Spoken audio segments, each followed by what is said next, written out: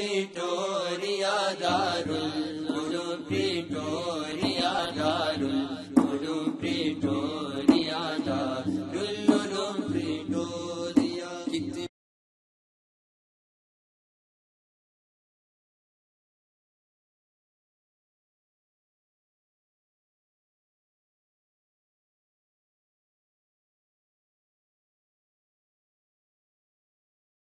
الشيطان الرجيم بسم الله الرحمن الرحيم إن الله وملائكته يصلون على النبي يا أيها الذين آمنوا صلوا عليه وسلموا تسليما اللهم صل على سيدنا محمد وعلى آل سيدنا محمد وبارك وسلم All praises are definitely due to Allah subhanahu wa ta'ala being the cherisher, the sustainer of all the worlds. Peace, blessing, and salutation be upon the noblest of Prophet, Hazrat Muhammad Mustafa sallallahu alayhi wasallam, who was sent to this world as rahmat lil alameen, mercy unto the entire creation. Respected teachers, fellow colleagues, Assalamu alaikum wa rahmatullahi ta'ala wa barakatuhu. A baby is born. After half an hour, he leaves this world or he live another 40 years or 80 years. No matter how long he'll live, his life duration will come to an end, meaning death. It is a fact where no one can reject or deny.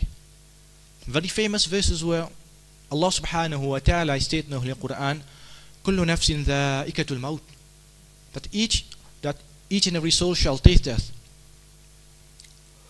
Respected audience, from the time of Adam salam till now, how many people have left this world?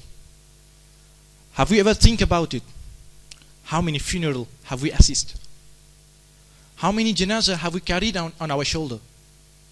And how many people, our close relative, etc., have we buried with our very same hand?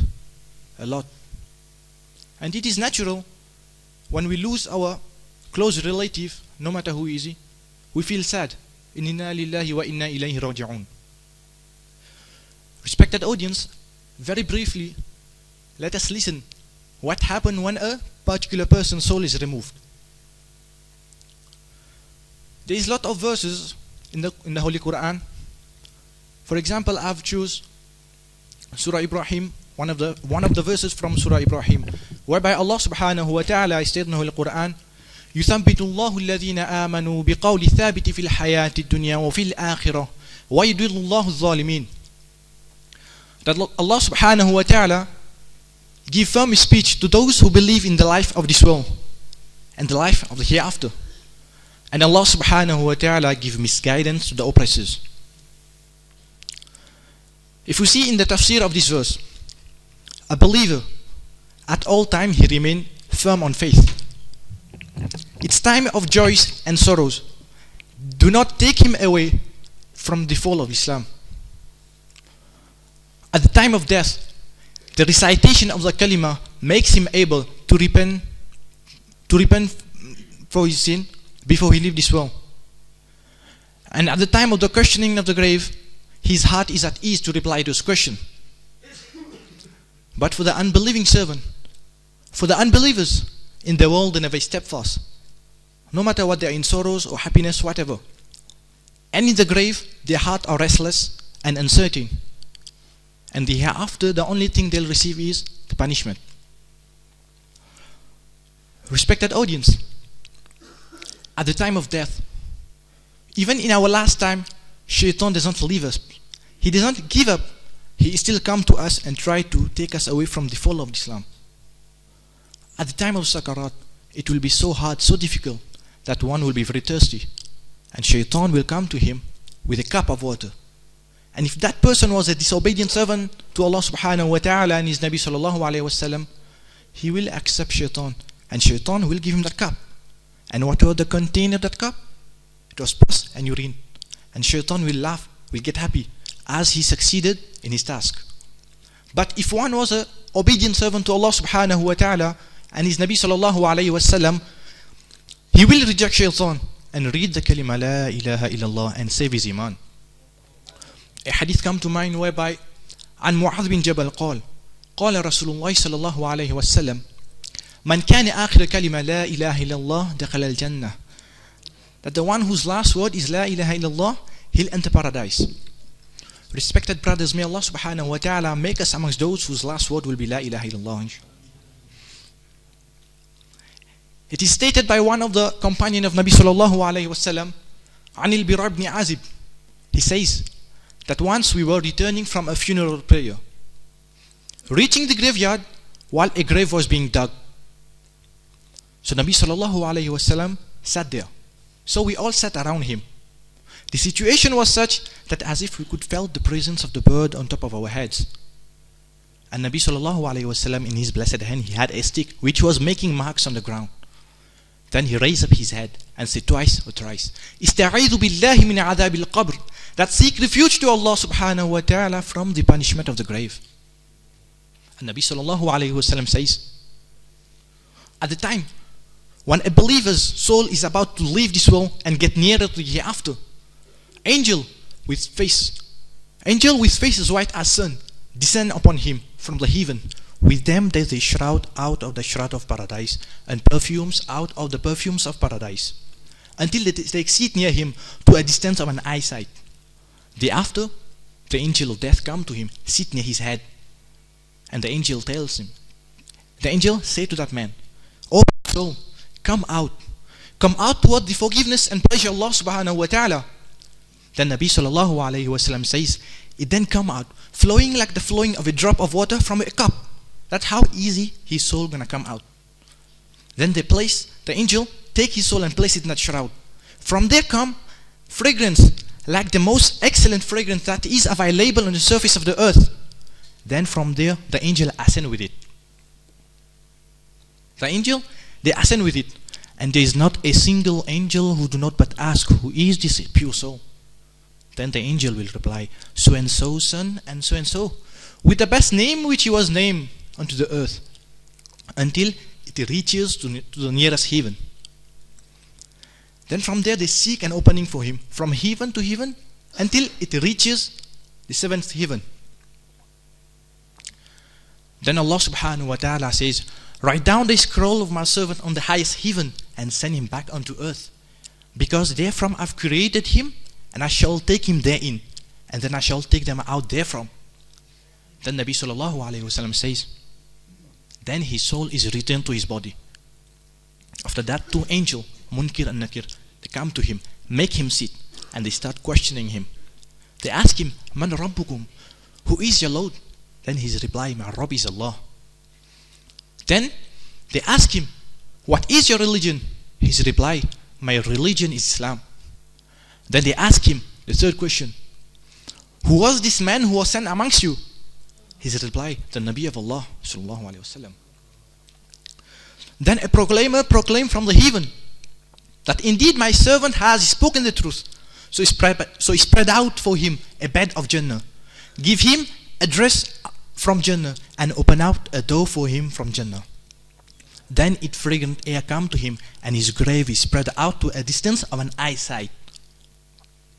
Then Nabi sallallahu alayhi wasallam says, A man beautiful of faces, good in dress, fragrant of air comes to him and tell him, Give good news of that which we used to give pleasure. This is the day which you were born. Then the man gonna ask him, Who are you?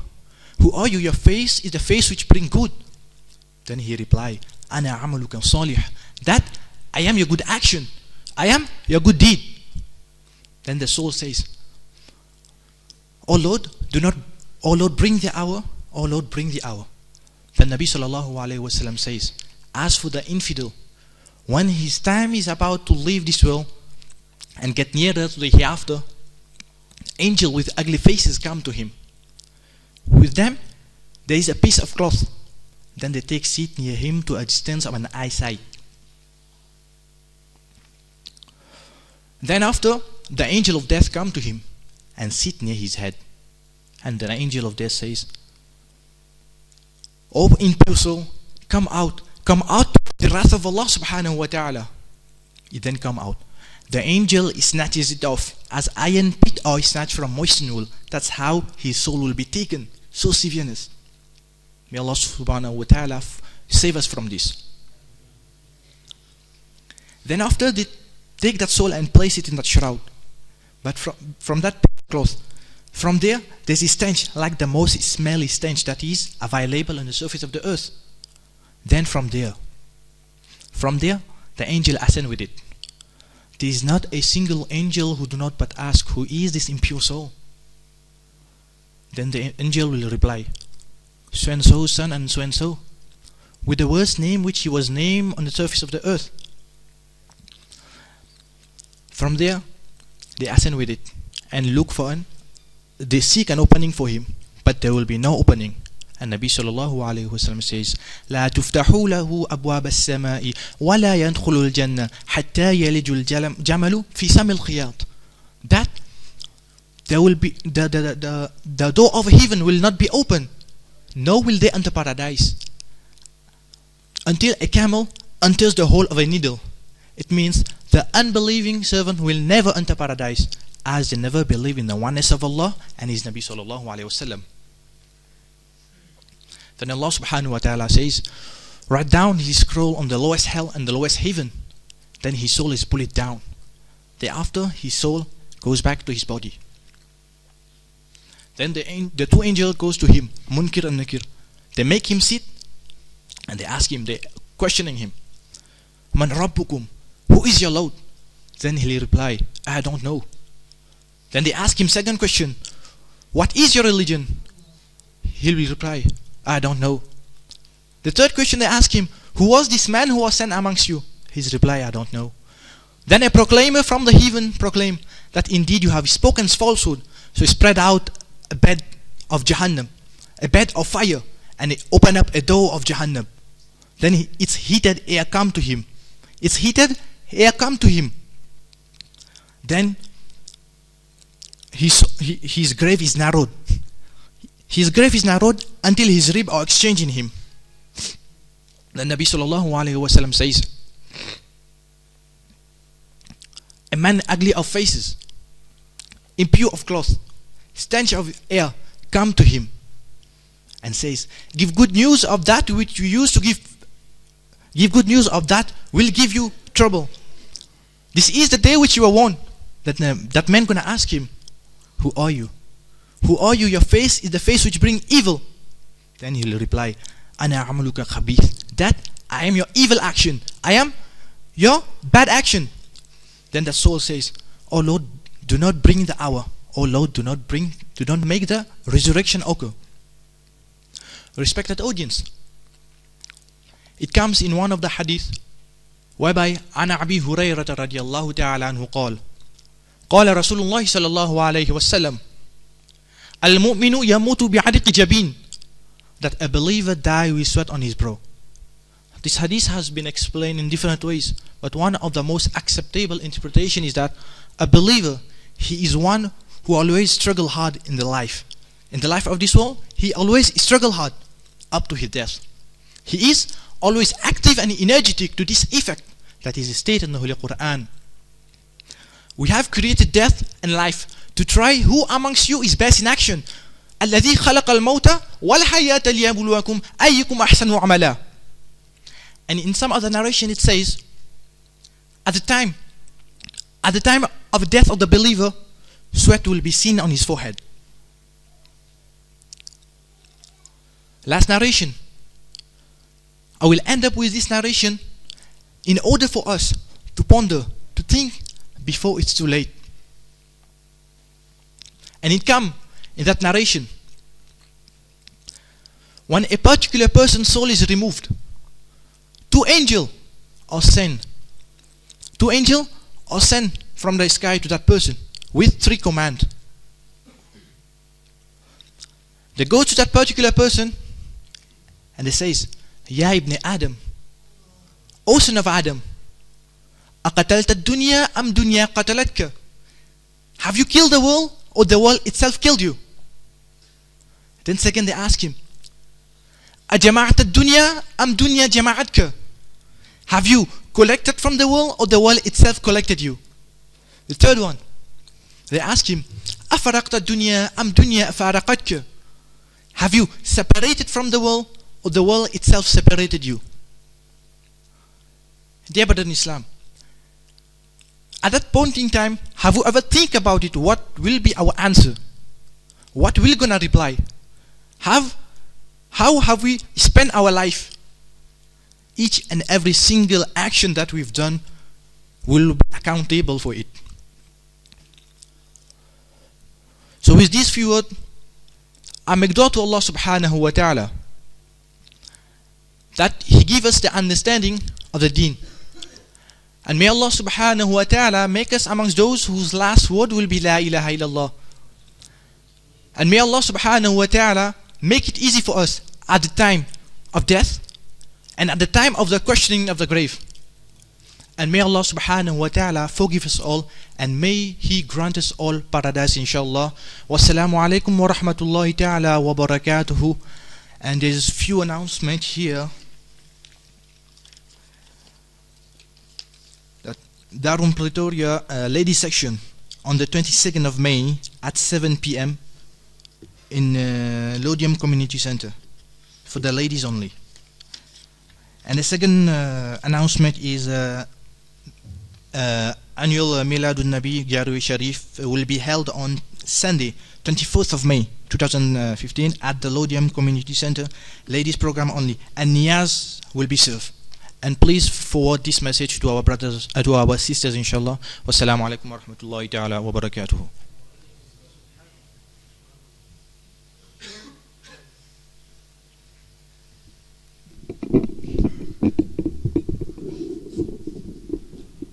بسم الله الرحمن الرحيم اهدنا الصراط المستقيم صراط الذين أنعمت عليهم غير المغضوب عليهم ولا الضالين آمين اهدنا guide us give us hidayat Sirat al Mustaqim to straight path, Hidayat to for straight path. And then in same surah is mentioned clearly which one is Sirat Mustaqim. Allah said, Sirat al-ladhina an'amta alayhim. Sirat Mustaqim, straight path, is of those who was favored by Allah subhanahu wa ta'ala. Inam of Allah was upon them. Amongst the people, those who are favored by Allah subhanahu wa ta'ala, there are four Imams known to everyone. Imam Abu Hanifa, Name of Imam Abu Hanifa is Nauman.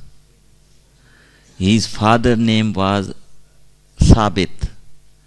Imam Abu Hanifa Nauman ibn Sabit.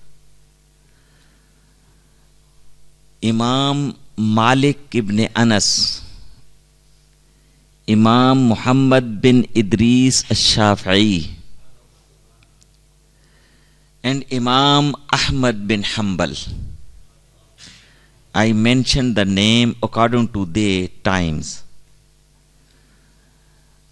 Imam Abu Hanifa, yesterday, second of Shaban, it was blessed demise day of Imam Abu Hanifa. Imam Abu Hanifa is amongst the Tabi'een. His time is first, then Imam Malik, then Imam Shafi'i. The year Imam Abu Hanifa left this world, it was 150 Hijrah. What? 150, 150 Hijrah. This was the year of demise of Hazrat Imam Abu Hanifa And this is the year of the birth of Imam Shafi'i, Muhammad bin Idris Shafi'i Rahmatullah. Amongst these four Imam is very important. We have to believe all of them. They are on. And one of them we should follow. In this present era is wajib and compulsory for us. We have to follow one of them. So Imam Abu Anifa amongst the Aima, he is that personality, the one who has opportunity to meet and to see and to achieve the company of Sahaba. Hazrat Anas ibn Malik, he had this opportunity to meet him and Anas is Sahabi of Rasul Sallallahu and also Imam Abu Hanifa has this opportunity to learn and listen hadith of the Prophet from Anas radiallahu ta'ala and other many Sahaba he made them. That's why he is called Tabi'i. Amongst the Aima Imam Abu Hanifa is Tabi'i. And he was a great Imam. I would like to tell you very briefly sometime shaitan confused the people especially muslims. When quran and hadith is there no need for you to follow any one of imam. Quran also is there, Hadith also is there. So then what is the need to go and follow any of one of four Imam? Very easy we should understand Quran is there, but to understand Quran is not easy like they understood.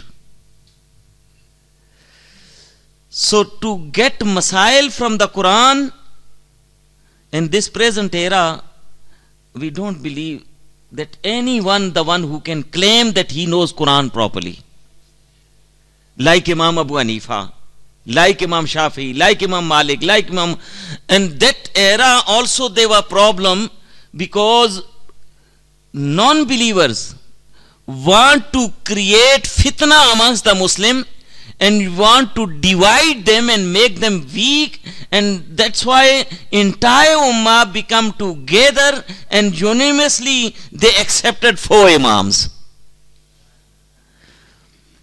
Through that entire ummah was united. And to follow the imam is proven from the holy quran.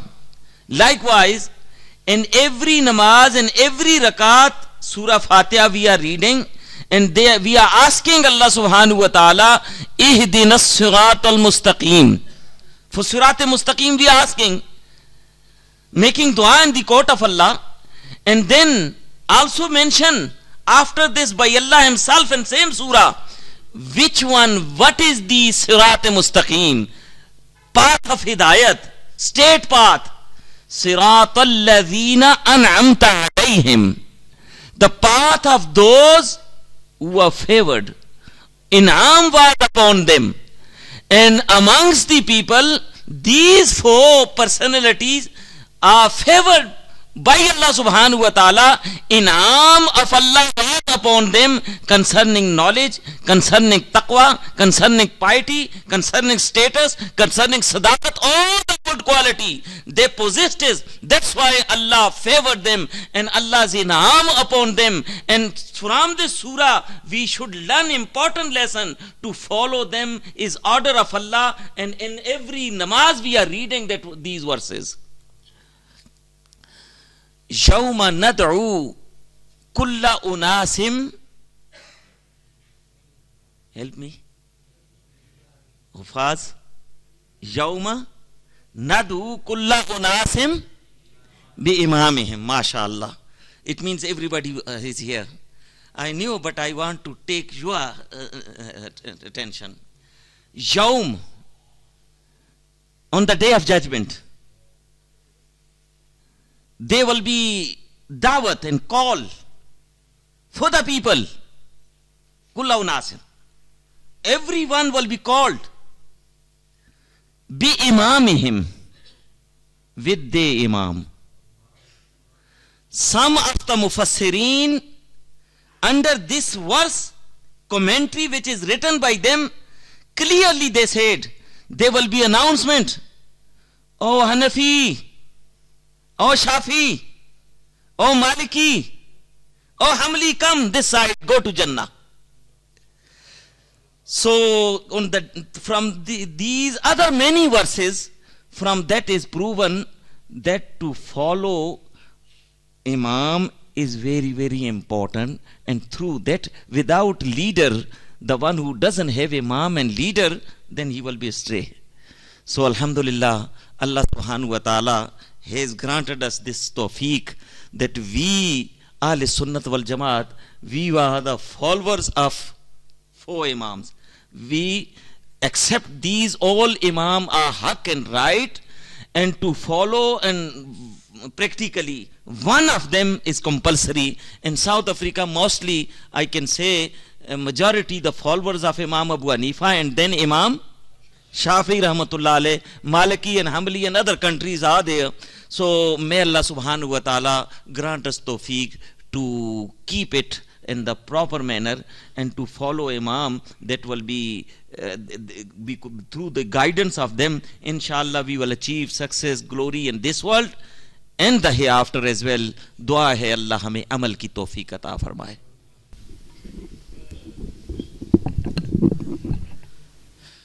يا النبي سلام عليك. يا رسول سلام عليك. يا حبيب سلام عليك. صلوات الله عليك. أنت شمس أنت بدر anta nuru fauqa nure anta iksiru wa ghali. أنت مصباح صدوري يا نبي سلام عليك. يا رسول سلام عليك. يا حبيب سلام عليك. صلوات الله عليك. يا حبيبي يا محمد يا عروس الخافقين يا مؤيد يا مماجد يا إمام القبلتين يا النبي سلام عليك يا رسول سلام عليك يا حبيب سلام عليك صلوات الله عليك. الفاتحة مالك يوم الدين إياك نعبد وإياك نستعين اهدنا الصراط المستقيم صراط الذين أنعمت عليهم غير المغضوب عليهم ولا الضالين. قل هو الله أحد الله الصمد